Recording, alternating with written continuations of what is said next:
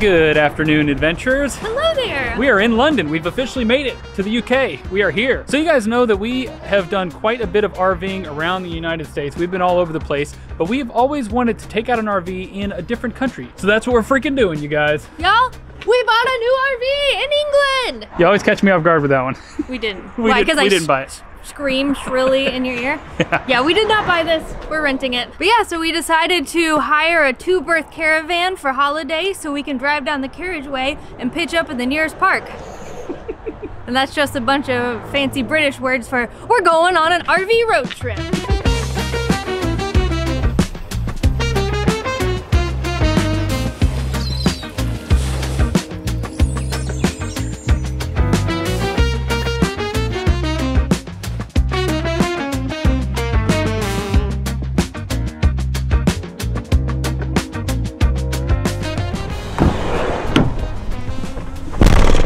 Heck is the steering wheel?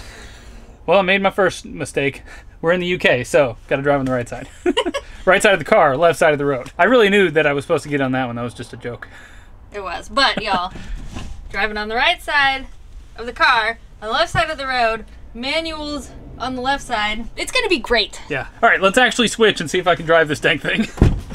Yeah, I'm kind of glad that we learned how to drive a manual on such a piece of car because I think it's gonna make this a cakewalk. Hopefully, but it's also very big. I'm on tiny British roads, uh, and I'm just stalling right now because I'm a little nervous. Sadly, this was the smallest caravan they had at Yeah. seven meters, which is about the size of Clementine. But here's the plan. We are doing the about two hour drive out to Bath, which is in the southwestern part of uh, England. We're gonna pitch up at a little caravan park there for the night. And then uh, I think we'll just kind of get acquainted with the RV, spend one night in it, and then we're gonna show you guys around once we figure out where everything is in this thing. it's pretty freaking cool. So far, I'm kind of impressed. It's not bad. No, it's not bad at all, but it's gonna be fun to show you all the differences between caravanning in the US and caravanning in England. Yeah. Sadly, the sun goes down at like 3.30 right now. It's currently 1.30. Yeah, and I don't really want to be driving in the dark until I'm really used to this thing. so, Nothing to it but to do it, I guess.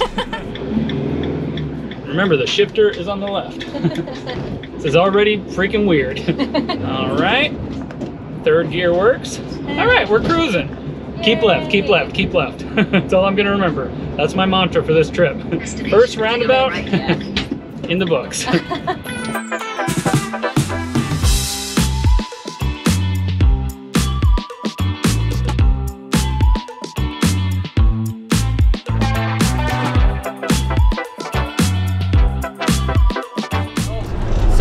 So good, you guys. We made it to the highway, and it's pretty much a straight shot to the campsite from here. Man, this is gonna take some freaking getting used to. I'm first off shifting with my left hand, and then driving in the right side of the vehicle, it's like I, I keep veering off to the left for some reason. I have to be like, uh, stay right, stay right. When we get into the towns and the roundabouts, I'm just like, stay left, stay left, stay left. So I don't actually accidentally turn into the right lane. On the plus side, this thing drives really nice. It shifts so much better than Ruby, and you guys know that's the one we learned to drive a manual on, and that thing is freaking rough and clunky. So this is like butter compared to that. Now get that thing out of my face so I can freaking pay Yes, please attention. concentrate with all of your body. Yeah.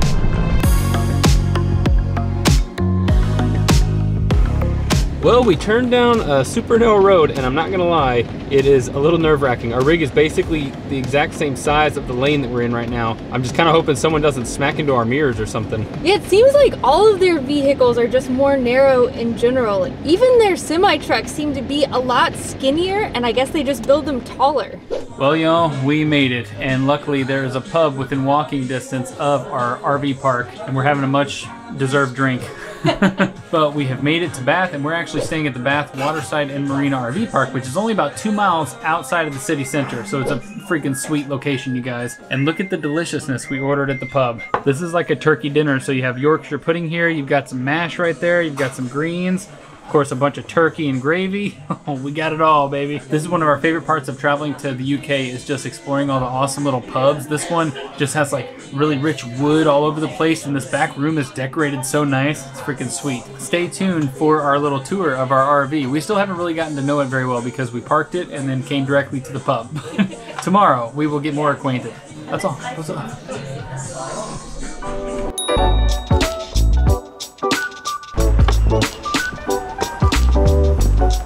Good morning, y'all. Good morning. Isn't our little RV so adorable? Check this thing out. It's funny because it's really not that small, but it just looks tiny. Yeah, it's actually about the length of Clementine, our RV back in the States. But if you put this next to Clementine, Clementine would look so much bigger. It's like a huge box compared to this. Yeah, I feel like she's probably at least a foot wider Yeah. and probably two feet taller. Because of those extra added dimensions, Clementine wouldn't last a minute on the roads here in England. This thing barely fits, you guys. It's crazy. But we did have a pretty decent little night's sleep in the RV. Unfortunately, the bed situation is really not that good. We'll show you that in a minute, Yeah. but it leaves a little bit to be desired. Yeah. And what's funny is that we found that a lot of the RV parks here in England, they're a little bit more bare bones than they are in the US. Like, for example, there's just a little power pedestal over there. That's all you get. You don't get any kind of sewer. They all use chemical toilets instead. And uh, you don't get any kind of water connection. I, I think some of them have that, but most of them I don't think have sewer, like all over the country. We were actually surprised to find that these spots had concrete. A lot of them are just big grassy knolls Yeah. that you park in. Also, one big difference is just the type of RVs. There's a bunch around that are pretty much the same dimensions as ours. Then there's this style that has this really fun overcab bunk that kind of bumps out. They're all so cute. They're mostly just oversized vans, if Yeah. we're being honest. Basically, class B plus, I think is what you would call them. As you can see, it's very cold and dreary out here. It hasn't started raining yet, but I think that means it's time to take y'all inside and go on a little tour.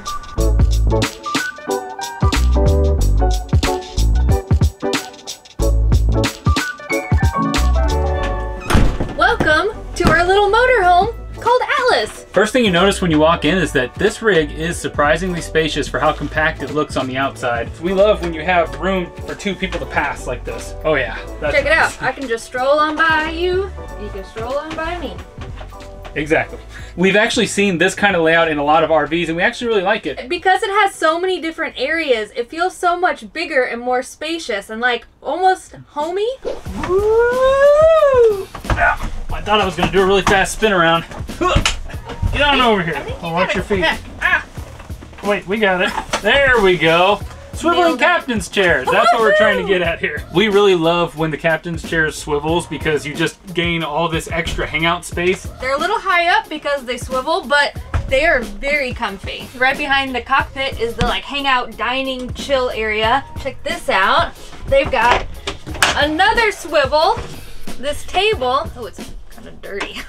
you can fit one, two, three, four, like six people in here. So you can bring all your friends, all your babies, all your dogs, whatever you got. Pick up random hitchhikers on the road. Yeah, whatever you're into, man. This table collapses somehow, but the question is, can Allison figure it out? Can I do it? Does this come out? And then this goes, these things do something. I know, it comes out somehow. So it comes off of there. It slides out, out of this bottom one. Boom. You got there, you did it. Yay. Oh, I see. So then we got like a, Yeah, and then I happens? think this does this pulls come off? over and that comes down. Does this one come over there somehow? Maybe this one Oh, yeah, comes there you out. Does it go over here? Good thing we don't have any guests because Yeah. they would not want to sleep in whatever this is.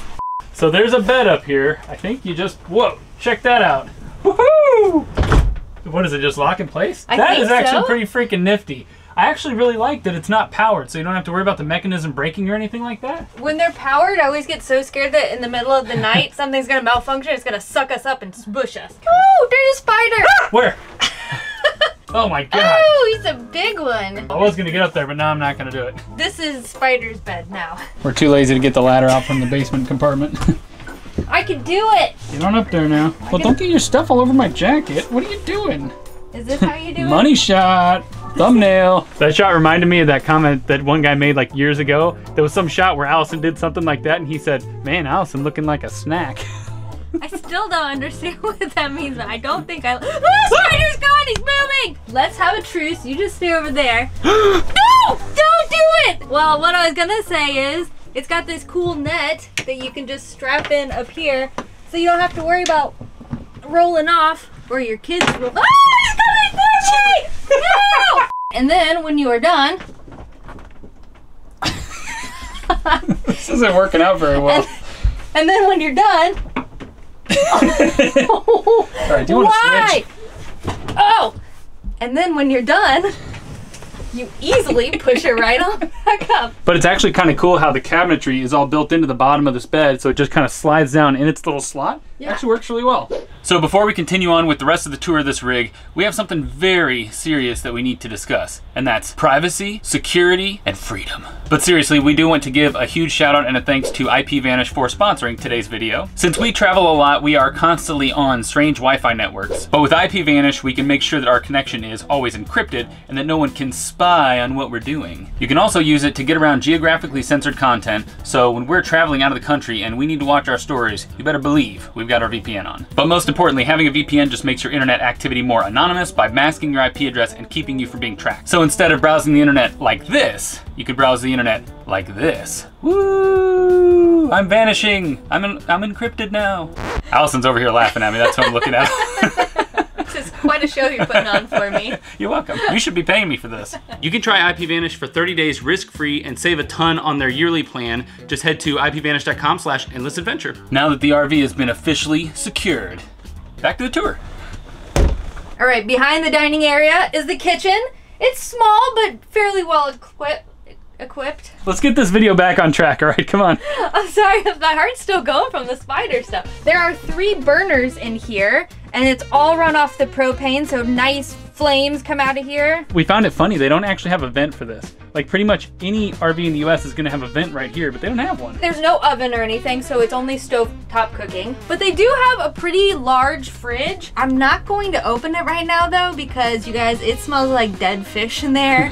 uh, we don't have anything in it anyway, but it is neat that it can run off of the power, the battery, or it can run off propane. It may smell like fish right now, but it works really well. It does. I also really love the lighting in this rig. There's a lot of like under-mounted lighting, so you can't actually see it. It just kind of illuminates random walls and stuff. It's mm-hmm. really classy. They have the tiniest little round sink in the land, but you know, it'll get the job done. Probably not our favorite RV sink style. I mean, we like, even if it's gonna be shallow, we like it to have the two separate compartments, but preferably two compartments and very deep. One thing I absolutely love that I've never seen before is the way that the drawers and cabinets open. There's this little latch back here. You push up and it opens it and it unlocks it all in there right where your fingers would go. So it's really like organic feeling to open everything. If we ever built a rig again, I'd probably do uh, door latches like this because I feel like it's the most usable one I've ever seen.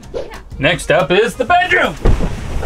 Now it's looking like a snack. I did another scene like this in some video when we were taking that ferry, and somebody actually did a little drawing of me literally sitting there like this. they caught my like underwear line and everything, man. But this is probably one of our favorite bedroom layouts ever in an RV because you hop in here and it's like your own little nook. It actually feels like a little bedroom. And there's plenty of room here for two people to sleep, confirmed last night. Although, look at this bed, you guys. This is what it is. It's just this like hard leather, really automotive type of padding. It's really not very good. It's very squeaky. No, and I don't know why they wouldn't just put a real mattress in here like we have in our RV. This RV does very well with the storage. You can see there's storage all up here, so they're really maximizing all that dead space. But if you need even more storage, there is actually heaps of storage right down here. Boom. Can I do it from here? Does this work? Uh, Check it out. Whoa, Yeah. this is huge. so you can get into the basement area through the bed. Wow. Clementine needed something like this. If we ever did it again, we would try to engineer some kind of space like this. And look, the little piston arm. Whoa! Oh. I didn't break it, probably. Ooh, privacy curtain. Check that out. Woo! Buzz off, I'm taking a little nap. It's starting to rain outside, you guys. It's really peaceful. So you guys saw the kitchen, the bedroom, and last but not least, we have a full-on bathroom. It's really long and spacious. I mean, there is a whole freaking shower in here. It's not the biggest thing in the world, but it's a whole shower and it's not on top of the toilet. That's pretty spacious for such a small RV. Yeah. And then you actually have room to kind of walk around in here. So this is the infamous cassette toilet. We were not very familiar with this thing. We're still kind of unfamiliar with it, but basically, it you do your business in there. You kind of open this slot there, and it goes down in there. That's kind of how you flush it. So there's a little button back here that flushes it. So that all goes down into this little tank down here, and then you can access it from the outside. So when we show you guys kind of the outside, we'll have to show you how this works. It's very strange. There's no tube to hook up if you're staying for a long time. You just Yeah. always have to disconnect it and dump it, which is kind of a bummer. They have a little corner sink area over here, and this is actually a bigger sink than the kitchen has. So I'm, I'm a big fan of this. Got a little air in the line. Maybe the only thing I don't like about this bathroom though is that the mirror starts at my forehead level. I can't Yeah. see myself in it. So this is what she looks like looking in the mirror. I have to be up on my tippy toes to see ridiculous. anything. So if I look bad today, that's why. I couldn't see in the mirror. you never look bad, kid. Oh, thanks, darling. One really cool feature in this front cab is that they have these built-in blinds here. This is something I really wish we had on our RV back in the US. So you could black out this whole thing really easily. And then there's some on the side here that, yeah, well, I don't know if I'm using it right, but how does this work? That one's pretty broken. All right, it's a little broken, but it works. Voila. Up here at the front, there's actually a bunch of little cubbies here. There's a couple speakers that link up to the multimedia system up here. But what's really cool is that there's a little like skylight thing here. The rain actually stopped for a second, so I'm gonna give it a try. Woo! Check that out. Haha, that's pretty cool. So this mechanism here is the same thing that we have on our travel trailer back home. And then when you're done, you close it like that, latch it up, and Bob's your uncle. It's another British phrase for y'all. Is Fanny your aunt? Bob's your uncle, Fanny's your aunt. You don't know what that means, ask the people in the comments, I guess. Ugh, I got some piston goo on me. Gross. Oh, God. Ugh. So this little thing up here, believe it or not, is the control panel. Y'all, this is unlike any we have ever seen in the US. So this little knob, if you turn it to the right, this controls your pump. Then if you keep going, it tells you how much gray water is in your tank, how much fresh water is in there. It goes over here and tells you your battery, your auxiliary battery, and then it shows you if you're charging or not. Since we're in merry old England, there is no AC in this RV. I don't think any of the rigs really usually come with AC. Instead, they just have these little classic skylights that uh, you can use to get some ventilation, and then of course propane powered heat. Yeah, it's interesting. They don't even have fans in here, not even in the bathroom. No fans anywhere, just keep everything in here. Well, y'all, the rain has let up a little bit. Hopefully it stays that way we are we've got big plan plan shoot. We want to go into town. Oh, that's what you're trying to say. Got big big plans in town. Yeah, we are trying to go into town later. I find this door so funny. Like, it looks like it belongs on a spaceship or something. Like, what is this? I do not understand. It doesn't match anything else inside. What is this bar even for? I don't know, just to be hulked off. It's like ripping to pieces already. So this is the little basement storage area under our back bed. It's just so big. You can put anything down in here. Y'all, everything on this rig and in England is like the States, but just enough different that it's like bizarro world. Yeah. I mean, these are the propane tanks, which are, I mean, they're pretty similar to ours, but also 100% different. Yeah, they just wouldn't quite look like this in the US, and the way they strap them down is different. Their little connectors here are all slightly different. Everything's just the same but different. Same but different. So this is the bottom of that cassette toilet. So I think saying you kind of. Oh, ow. Okay, so it should come out like this. Ooh, oops. There's a little all right. water. But so basically, this gets filled up with all, all of your byproduct. and then uh, I guess you dump it out. It's got wheels on it, so you can tote it around. So all these RV here's, if I'm not mistaken, are gonna have a toilet like this. This is very Yeah. common here. But there's a drop station over there for chemical toilets where you can dump this. Um, but yeah, that's how they do it. They fill this little thing up, they tote it over there and dump it. It'll be much harder to do a permanent stay because in the US, you'll have a big pipe, you know, going into the sewer. Yeah, so you never have to leave or worry about it. It just is constantly being removed. I imagine it gets pretty smelly and stuff, Yeah. so that's kind of a bummer, but It works though. it works. Another little difference, all these little latches on these things are, well, this one's broken, but Yeah. they're all slightly different from what you'd find in the US. So this is how you fill your water. You open this, we've got a hose to fill it with. But as we said, there's no fresh water at your site, so you'd have to drive somewhere to fill this. Yeah, so in the US, you'll have a nozzle where you plug in, it actually would be kind of over here. Yeah. You plug it on, the, the city water, and then you get just regular city water like it's a house. Also, another thing, they were like, oh, if your gray gets filled, you open it here. And I was like, where's the hose to drain that? They don't have that. It's just this little tube, one of these. It just free flows out. Yeah, so you drive over basically any drain, and this is your little gray tube, and you just open it up and dump it. I mean, if you did that in the States, I feel like people would try to like report you or something, even if you're just dumping gray water. Yeah, you might get fined or something, but I mean, it makes sense. It's just like soapy water at worst, right? Also, there's a sensor on this tank, and if it gets too cold, instead of letting everything freeze, it automatically just dumps the tank so Yeah. that it can't ever freeze. We would basically have just a tank warmer, or you know, you keep it on the interior so it stays warm, but you wouldn't Yeah. do anything like that. So just keep waiting. We're gonna wake up one of these mornings and have no water because it's gonna have all been evacuated. Plus, I just love the shape of this tank. Like, what's even going on here? Talk about some custom design. Yeah, dude. Then, of course, you got your little power outlet here. I think this is like a 16 amp adapter, but completely different than anything we've ever used before. But it works the same. You just plug it in here, plug it into the pedestal, and Bob's your uncle. There you go. And Fanny again is your aunt. We were kind of bummed with how dirty the rig was. I mean, when they gave it to us, it's just kind of like caked in dirt. They didn't even attempt to wash it off. But you see all these scrape marks? Guess what that's from? The edges of the roads always have a bunch of brush on them and they just scrape along the side while you're driving.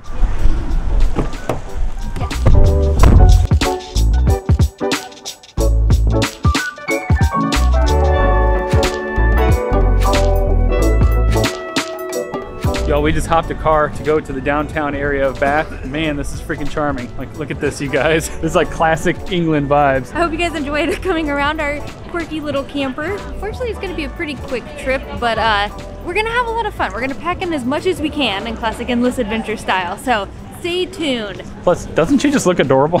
It's winter time, y'all. We were just in Singapore and it was so hot, and now we're in a winter wonderland. Minus the snow. Snowing instead of raining. Yes. Okay. Goodbye, adventures. we'll see you on the road.